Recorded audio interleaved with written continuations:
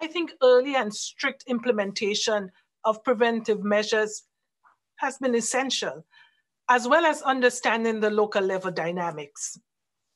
The English speaking Caribbean countries, for example, have been extremely successful in this regard by quickly and aggressively implementing preventive measures, incorporating local dynamics, and utilizing the primary healthcare systems and the primary healthcare approach into their response, they were able to limit the virus's impact.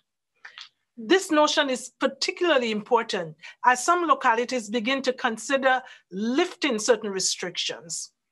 By understanding what makes each locality unique, we can tailor policies and responses to the necessary context.